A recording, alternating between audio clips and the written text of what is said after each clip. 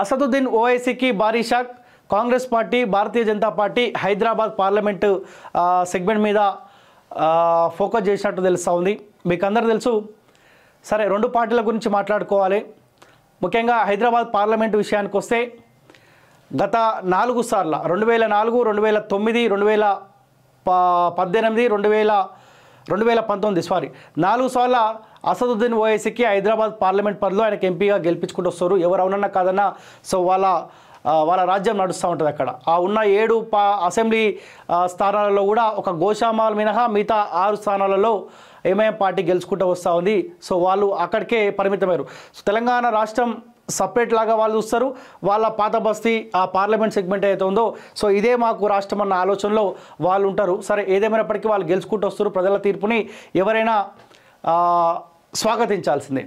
అయితే మొన్న అమిత్ షా గారు తెలంగాణ రాష్ట్రానికి వచ్చే సందర్భ సందర్భంలో మీరు సరే తెలంగాణ రాష్ట్రంలో ప్రజలు భారతీయ జనతా పార్టీ వైపే చూస్తారన్న ఆలోచన నాకు ఉంది ఎందుకంటే రాష్ట్రంలో కాంగ్రెస్ పార్టీ వైపు ప్రజలు చూసారు కాబట్టి సెంట్రల్లో భారతీయ జనతా పార్టీ ఉండాలన్న ఆలోచనలో మెజార్టీ తెలంగాణ ప్రజలు ఉంటారన్న ఆలోచన నాకు ఉంది కాకపోతే మీరు ఫోకస్ చేయాల్సింది హైదరాబాద్ మీద ఎందుకు ఫోకస్ చేయలేకపోతా ఉన్నారు? మన హిందువులు కూడా అక్కడ ఉన్నారు కదా ఎందుకు అక్కడ ప్రతిసారి ముస్లిం అసదుద్దీన్ ఓఎస్కి ఎందుకు గెలిపిస్తూ ఉన్నారు? మీరు ఎందుకు అనుకున్న స్థాయిలో ఫోకస్ ఎందుకు చేయలేకపోతా ఉన్నారన్న ఒక మాటని భారతీయ జనతా పార్టీ కీలక నేతల ముందు ఉంచినప్పుడు. సో మీరు అన్నట్టు ఖచ్చితంగా ఈసారి హైదరాబాద్ మీద మేము ఫోకస్ చేస్తాం. అన్న ఆలోచనలో భారతీయ జనతా పార్టీ కీలక నేతలు ఉన్నట్టు తెలుస్తుంది. దానికి తోడు మీకు అందరూ తెలుసు జనవరి ఇరవై రెండున రామ మందిరాన్ని ప్రధానమంత్రి నరేంద్ర మోడీ గారు ఓపెన్ చేయబోతా ఉన్నారు. సో ఆ అంశం కూడా కలిసి వచ్చే అవకాశం ఉంటుంది. ఎందుకంటే ఎవరు అవునన్న కదా వాస్తవాలు మాట్లాడుకుంటే సెంట్రల్లో భారతీయ జనతా పార్టీ వచ్చిన తర్వాత కాస్త శాంతి భద్రతల విషయంలో ప్రజలు కూడా కాస్త ఊపిరి పీల్చుకుంటా ఉన్నారు కాస్త ప్రశాంతంగా ఉన్నారు. సో అయితే మీకు అందరూ తెలుసు రాష్ట్రంలో కూడా కాంగ్రెస్ పార్టీ వైపు ఎందుకు ప్రజలు ఓట్లేశారంటే భారతీయ జనతా పార్టీ వాళ్ళు తీసుకున్న నిర్ణయాలు సరే నిర్ణయాలు పదే పదే మనం మాట్లాడుకోవడం కూడా కరెక్ట్ కాదులే కానీ. సో మొట్టమొదటి వాళ్ళు లిక్కర్ స్కామ్ గురించి ప్రజలు కూడా బలంగా నమ్మారు. లిక్కర్ స్కామ్లో కల్వకుట్ల కవితని ఖచ్చితంగా అరెస్ట్ చేస్తారు. అని బలంగా ప్రజలు నమ్మినప్పుడు ఎందుకు క కల్వకుట్ల కవిత అంటే మనకేం కోపం లేదులే కానీ వాస్తవాలు మాట్లాడుకుంటే ఏ కుటుంబం అయితే పది సంవత్సరాల కాలం పాటు తెలంగాణ రాష్ట్రాన్ని వెళ్ళిందో ఆ పది సంవత్సరాల కాలంలో చాలామంది పేద ప్రజల రక్తాన్ని తాగారు ఆ పేద ప్రజలకు ఇబ్బంది పెట్టారు కదా. సో మెజార్టీ పేద ప్రజలు పేద ప్రజలంటే ఇబ్బంది పెట్టినా పెట్టకపోయినా ఎట్లా పెట్టారంటే దళిత బంధు విషయంలో టీఆర్ఎస్ పార్టీ వాళ్ళకి ఇచ్చారు బీసీ బంధు విషయంలో టీఆర్ఎస్ పార్టీ వాళ్ళకి ఇచ్చారు ఆ, ధరణి పేరుతోటి పేద ప్రజల భూములు లాక్కున్నారు. వీళ్ళు తీసుకొచ్చిన సంక్షేమ పథకాలలో కూడా బాధితులు వాళ్ళంతలో వాళ్ళే బాధితులను క్రియేట్ చేసుకున్నారు. దానితో ఒక కుటుంబం ఒక రాజక పాలన చేస్తుందని చెప్పి సో వ్యతిరేకత పెరిగిపోయిన నేపథ్యంలో మేము ఇబ్బంది పడతా ఉన్నాం. ఒకసారి ఈ కుటుంబం ఇబ్బంది పడితే చూద్దామన్న ఆలోచనలో పబ్లిక్ ఉండే. సో అప్పుడు భారతీయ జనతా పార్టీ ప్రధానంగా ఏం తీసుకొని వచ్చిందంటే ఈ లిక్కర్ స్కామ్ అంశం తెరపైకి వచ్చింది. లిక్కర్ స్కామ్లో కల్వకుట్ల కవిత దొరికింది. ఖచ్చితంగా జైల్లోకి పోతుందని చెప్పారు. తర్వాత ఈ కాళేశ్వరం ఏటీఎం లాగా మారింది. అవినీతి పైన ఖచ్చితంగా చర్యలు ఉంటాయని చెప్పి బాజాబ్తో చెప్పారు. చెప్తే సరే చర్యలు తీసుకుంటారు కదా మాకు ఇబ్బంది పెట్టిన పార్టీ వాళ్ళు ఎందుకు ఇబ్బంది పడద్దు?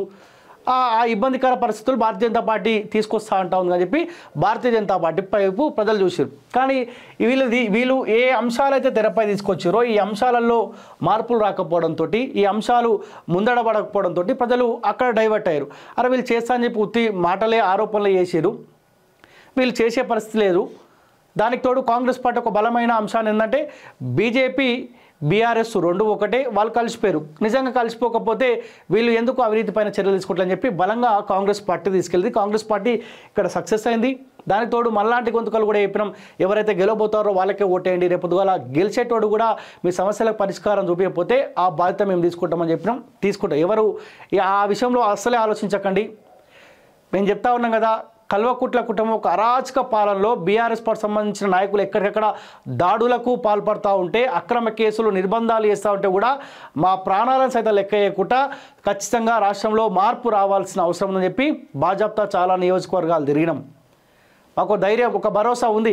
అరే కల్వకుట్ల కుటుంబం ఒక అరాచక పాలనలోనే మనం ప్రశ్నించగలిగినాం. మార్పు దిశగా ప్రజల్ని అటు సైడు చూపించగలం. కానీ కాంగ్రెస్ పార్టీ కూడా రేపొద్దుగాల రేపు పొద్దుగాల ఏమైనా ఇబ్బందికర పరిస్థితులు ప్రజలకు తీసుకొస్తే అంతకు మించిన పోరాటం చేస్తాం. ఆ ఆలోచనలో మాత్రం మేమున్నాం ఇక కాంగ్రెస్ పార్టీ ఆ విషయంలో Bharatiya Janata party BRS party రెండు ఒకటే అని చెప్పి ఒక మెసేజ్ని బలంగా ప్రజల్లోకి తీసుకెళ్ళగలిగింది. మనం కూడా సందర్భం వచ్చినప్పుడు చెప్పినాం. కానీ వీళ్ళు లిక్కర్ స్కామ్లో అందరూ అరెస్ట్ అయినారు. ఎందుకు కొంతమందిని అరెస్ట్ చేస్తారన్న ప్రశ్న ప్రజలు మన ముందు ఉంచారు మనం కూడా పార్టీల ముందు కూడా ఉంచినాం. అక్కడ ప్రజలు కాస్త బీజేపీ బీఆర్ఎస్ రెండు ఒకటే అనే నమ్మిరు కానీ ఇప్పుడు భారతీయ జనతా పార్టీ కూడా ఒక ఆలోచనకు వచ్చిందంట. ఏ అంశాలైతే ఏ అంశాలైతే మనం ఈ లిక్కర్ స్కామ్ అవినీతి అంశాన్ని ప్రజల ముందు తీసుకుపోయినప్పుడు ఆ చర్య లేకపోవడంతో మనల్ని ప్రజలు పక్కకు నెట్టే ప్రయత్నం చేశారు కదా. సో ఈసారి ఆ అంశాలు కాకుండా దేశంలో ఖచ్చితంగా నరేంద్ర మోడీ ఉంటేనే మనకు శాంతి భద్రత దృష్ట్యా కాస్త ప్రశాంతంగా ఉండే అవకాశం ఉంటుంది. దానికి తోడు ఏ సంక్షేమ పథకాలు అయితే సెంట్రల్ నుంచి మనం ఇటు రాష్ట్ర ప్రభుత్వానికి కావచ్చు ప్రజలకు కావచ్చు మేలు జరిగే రకంగా మనం చేస్తా ఉన్నామో ఆ అంశాలని బలంగా తీసుకోవాలి. అన్న ఆలోచనలో భారతీయ జనతా పార్టీ ఉన్నట్టు తెలుస్తుంది. మొన్న అమిత్ షా గారు కూడా బాగానే సీరియస్ అయినారంట. మీ అంతర్గత కుమ్ములాటలు ఇవన్నీ పక్కకు పెట్టండి పక్కకు పెట్టకపోతే సో సీరియస్ యాక్షన్ తీసుకునే అవకాశం ఉంటుంది అని వాళ్ళ ముందుంచినప్పుడు వాళ్ళు కూడా కాస్త ఏకతాటిపైకి వచ్చినట్టు తెలుస్తోంది. దానికి తోడు రాష్ట్ర ప్రజలు కూడా రాష్ట్రంలో కాంగ్రెస్ పార్టీకి అవకాశం ఇచ్చినాం. చాలామంది ఓటర్లు కూడా మేము అంతెందుకు గ్రౌండ్లో వాస్తవాలు మాట్లాడుకుంటే గ్రౌండ్లోకి వెళ్ళినప్పుడు చాలామంది అన్నారు సరే భారతీయ జనతా పార్టీ తీసుకున్న నిర్ణయాల? ఆ విషయం పక్క పెడితే మాకు ఆప్షన్ కాంగ్రెస్ పార్టీ అవుతుంది కాంగ్రెస్ పార్టీ కేసీఆర్ పోవాలి. కాంగ్రెస్ పార్టీ రాబోతున్న చర్చ బలంగా జరుగుతుంది కాబట్టి కాంగ్రెస్ పార్టీకి ఓటేస్తాం. రాబోయే పార్లమెంట్ ఎలక్షన్లలో భారతీయ జనతా పార్టీకి హండ్రెడ్ పర్సెంట్ ఓటేస్తామన్న ఆలోచనలో పబ్లిక్ ఉన్నారు. మాతోటే చాలామంది చెప్పారు వాస్తవం మాట్లాడుకుంటే. కానీ భారతీయ జనతా పార్టీ కూడా అదే ఆలోచనలో ఉన్నది. సో ఏ తప్పుడు నిర్ణయాల పట్ల అయితే మనం ఇక్కడ తెలంగాణ రాష్ట్రంలో అధికారం కోల్పోయినామో ఆ తప్పుడు అంశాలు మళ్ళీ ప్రజల్లోకి తీసుకెళ్ళకుండా మనం ఏం చేసినాం? మళ్ళీ పార్లమెంట్ ఎలక్షన్లో మాకు గెలిపిస్తే ఏం చేయబోతున్నా అనే అంశాన్ని బలంగా ప్రజల్లోకి తీసుకోవాలన్న ఆలోచనలో భారతీయ జనతా పార్టీ రాష్ట్ర కీలక నేతలు ఉన్నట్టు తెలుస్తుంది. అందులో భాగంగానే ఈ హైదరాబాద్ పార్లమెంటు పరిధిలో కాంగ్రెస్ పార్టీ బీజేపీ. సో మేమంటే మేమని రంగంలోకి దిగినట్టు తెలుస్తుంది గతంలో పోటీ చేసిన భారతీయ జనతా పార్టీ నుంచి పోటీ చేసిన ఆ, అందీపో ఏదో సంథింగ్ అనే పేరు ఏదో ఉందనుకుంటా. ఆయన్ని మళ్ళీ రంగంలోకి దింపాలని ఆలోచన తెలుస్తుంది దానికి తోడు ఏ ఫిరోజ్ ఖాన్ అయితే నాంపల్లి నుంచి ఓడిపోయిండో గత కొన్నిసార్లు పోటీ చేసుకుంటూ వస్తూ ఉండు. ఎంఐఎం పార్టీ చేస్తున్న రిగ్గింగ్ అనాలా లేకపోతే ఇంకో తప్పుడు ఓటింగ్ రూపంలో గెలుస్తున్న ఆ విషయాలు పక్కకు పెడితే సరే ప్రజల తీర్పును స్వాగతిస్తాము. కాంగ్రెస్ పార్టీ కూడా ఫిరోజ్ ఖాన్ని అక్కడి నుంచి రంగంలోకి దింపితే ఒక ముస్లిం నేత మీద ఇంకో ముస్లిం అభ్యర్థిని మనం బరిలో ఉంచితే ఎట్లా ఉంటుందన్న ఆలోచనలో కూడా కాంగ్రెస్ పార్టీ ఆలోచిస్తూ ఉన్నదంట. దానికి తోడు క్రికెటర్ మాజీ క్రికెటర్ అజదుద్దీన్ ఆయనను కూడా బరిలో ఉంచాలన్న ఆలోచనలో ఉన్నట్టు తెలుస్తుందంట. సో ఏదేమైనప్పటికీ కాంగ్రెస్ పార్టీ నుంచి ఓడిపోయిన ఫిరోజ్ ఖాన్ని అక్కడ బరిలో దింపితే కాంగ్రెస్ పార్టీ కూడా అవకాశం ఉండే ఆలోచనలో పబ్లిక్ ఉంటారు. ఇద్దాంలే ఓడిపోతూ ఉండు కదా. ఎంపీగానన్నా గెలిపిద్దాం ఎందుకంటే అధికారంలో ఉంది కదా ఆలోచనలు ఉంటారు. అట్లా సో ఏదేమైనప్పటికీ అసదుద్దీన్ టార్గెట్గా కాంగ్రెస్ పార్టీ బీజేపీ ఒక పగడ్బందీ ప్లాన్ తోటి ముందుకెళ్తున్నట్టు తెలుస్తూ ఉంది. ఏమున్నా ఇలా రిగ్గింగ్ ఈ తప్పుడు ఓటింగ్ను కంట్రోల్ చేస్తే ఈయన గెలిచే అవకాశం ఉండదు. వీళ్ళు ఎప్పుడు గెలిచినా ఈ బ్యాచ్ ఇంతే ఉంటుంది. ఫిరోజ్ ఖాన్ ఒక ఫైర్ బ్రాండ్ ఒక లీడరు ఆయన్నే ఓడిపోతా ఉన్నాడంటే ఆలోచించండి. అన్ని సర్వే సంస్థలు చెప్పినాయి ఖచ్చితంగా ఫిరోజ్ ఖాన్ నాంపల్లిలో గెలవబోతా ఉన్నాడు అని చెప్పినాడు అయినప్పుడు కూడా ఆయన గెలవలేదంటే సో వీళ్ళు ఏదో ఒకటికి పాల్పడతాం పదే పదే ఫిరోజ్ ఖాన్ కూడా చెప్తా ఉండే దొంగ ఓట్లు బోగస్ ఓట్లు బోగస్ ఓట్లు అని మొత్తుకొని మొత్తుకొని మొత్తుకొని ప్రతిసారి మాట్లాడుతూ ఉంటారు ఆ విషయం. సో అయినా ఈసారి ఆయన మళ్ళీ ఓడిపోయాడు. సో మొత్తానికి అసదుద్దీన్ ఓవైసీ టార్గెట్గా కాంగ్రెస్ పార్టీ భారతీయ జనతా పార్టీ పగడ్బంది ప్లాన్ చేయబోతా ఉన్నాయి. చూద్దాం. అసదుద్దీని ఢీ కొట్టగల సత్తా కాంగ్రెస్ పార్టీకి బీజేపీకి ఉందా చూడాల్సిన అవసరం ఖచ్చితంగా ఉంది. సో ఒకసారి ఇక మా న్యూస్లోకి వెళ్దాం. సో దీనికి సంబంధించిన వార్త కూడా కనిపిస్తూ ఉంది దిశలో. మిషన్ అసద్ హైదరాబాద్ పార్లమెంట్పై బీజేపీ కాంగ్రెస్ ఫోకస్. ఓవైసీని ఓడించడమే టార్గెట్గా బరిలోకి. మైనార్టీ ఓట్లపై అధికార హస్తం పార్టీ నజర్. హిందూ ఓటర్లను సంఘటితం చేసేలా కమలం ప్లాన్. అసెంబ్లీ ఓట్ల ఫలితాలే ప్రామాణికంగా ఇరు పార్టీల వ్యూహం. పొలిటికల్ కెరీర్లో తొలిసారి ఎంఐఎంకు టఫ్ ఫైట్ తప్పదా? అసెంబ్లీ ఎన్నికలు ముగియడంతో ప్రధాన పార్టీలు లోక్సభ ఎన్నికలపై దృష్టి సారించాయి. గెలిచేందుకు అవకాశం ఉన్న స్థానాలపై ప్రత్యేక కార్యాచరణ రూపొందించుకొని వ్యూహాలకు పదును పెడుతున్నాయి. రాష్ట్రంలో అధికార పార్టీ హోదాలో ఉన్న పార్టీగా లోక్సభ ఎన్నికలను క్లీన్ స్వీప్ చేయాలని కాంగ్రెస్ ప్రయత్నిస్తుంటే కేంద్రంలో మూడోసారి అధికారంలోకి రావాలంటే వీలైనన్ని ఎక్కువ సీట్లు సాధించేందుకు బీజేపీ పక్కాగా ప్రణాళికలు రుచి రచిస్తోంది. ఇదే సమయంలో రాష్ట్రంలో అధికారం కోల్పోయిన బీఆర్ఎస్ సైతం ఎన్నికలకు సన్నద్ధమవుతోంది. అయితే బద్ధశత్రువులైన కాంగ్రెస్ బీజేపీలు హైదరాబాద్ లోక్సభ స్థానం విషయంలో ప్రతిష్టాత్మకంగా తీసుకోవడం రాష్ట్ర రాజకీయాల్లో సంచలనం రేపుతూ ఉందంట.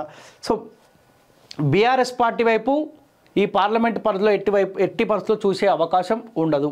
ఉండదు.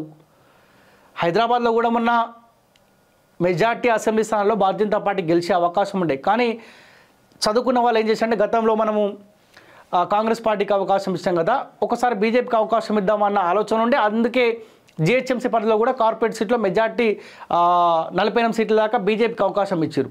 వాళ్ళు కూడా బీజేపీ వైపే చూసే అవకాశం ఉంటుంది. కానీ వచ్చిన నిర్ణయాల పట్ల కాస్త ఇబ్బంది పడి సరే కాంగ్రెస్కి ఎందుకులే?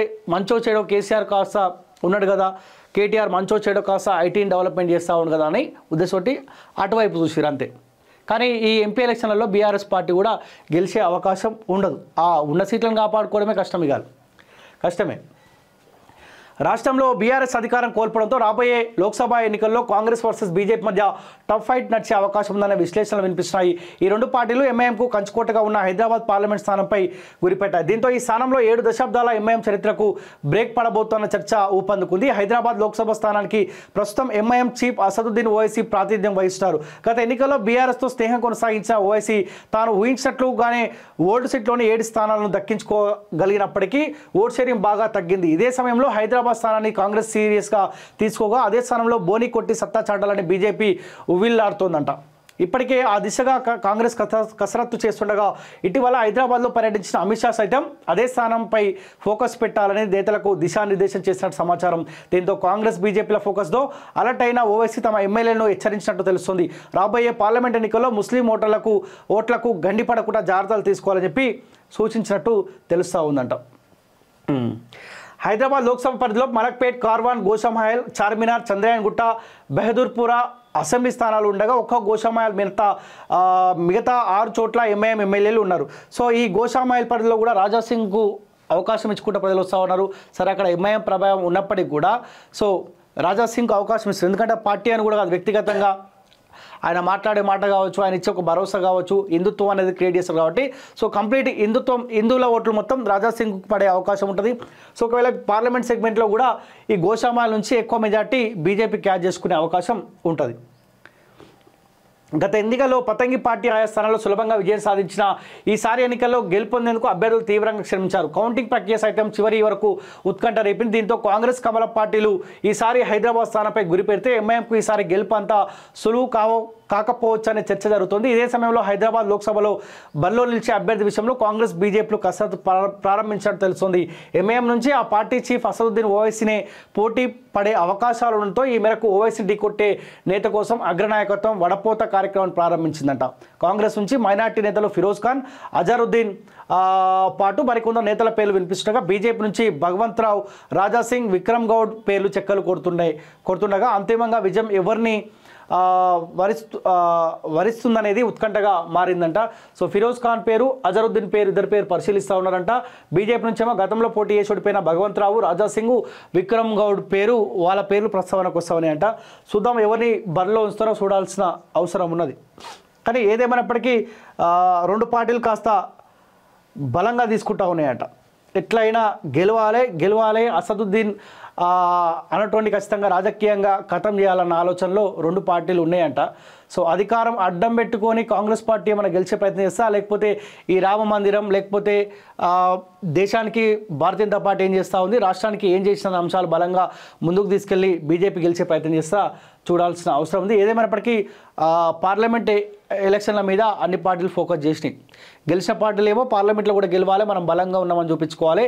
గెలవని పార్టీలు ఏమో సరే పార్లమెంట్ ఎలక్షన్లో గెలిచిన కాస్త ఊపిరి పీల్చుకోవాలన్న ఆలోచనలో ఇతర పార్టీలు ఉన్నట్టు తెలుస్తూ ఉంది.